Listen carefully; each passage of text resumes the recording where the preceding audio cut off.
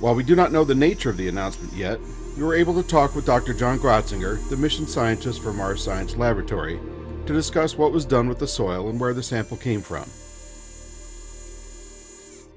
You know, looks like a, a typical kind of a, uh, a sand dune. It's a little small sand dune, you know, 10 centimeters high kind of thing.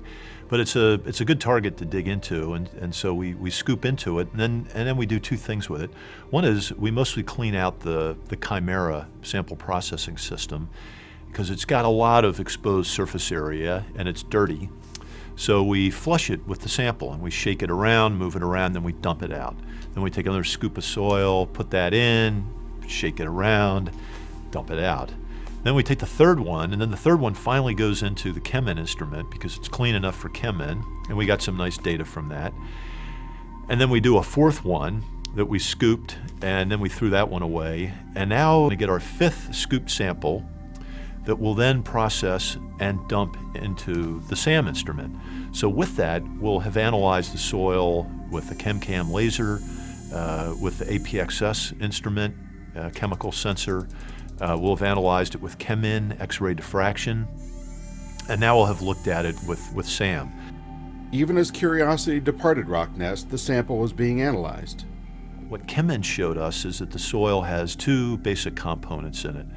One of which is our true minerals that, that have a, a, a, an ordered arrangement of atoms that, that give you a very particular crystal structure. And then there's a bunch of stuff in there that's X-ray amorphous, meaning that it, it, it, doesn't have any kind of orderly structure to it, or the orderly elements are so small that, that they don't diffract X-ray uh, beams. And it's a big question as to what this stuff is. And if we get the APXS analysis of the soil, we can get some sense for what it is. And then you go back and you look at the CheMin data, and you look quantitatively at how much stuff was actually crystalline, and you know what minerals they are, and you know then what the chemical formula is for the mineral. So then you're able to extract all of those elements that represent those minerals, and then what you're left with is the unknown chemistry of the X-ray amorphous material. And so if we can take that, that fraction of the sample and then dump it out onto our observation tray and then put the APXS down on top of it, we can get the chemistry of that fraction that's less than 150 microns that also includes the X-ray amorphous stuff. Then we take that same stuff and we dump that into SAM, and SAM heats it up to eight, 900,000 degrees. And as you do that, the rock decomposes and break down and breaks down, and then the volatiles come off. Let's say that there's a mineral or there's some material in it that uh, is below the detection limit of CheMin, which is a couple percent. Let's say it's carbonate. And so that, that mineral, you know, if it's uh, something made out of calcite, it would be calcium plus CO3.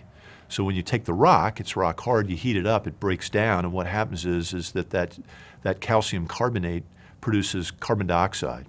So we'll drive that off and we'll see that.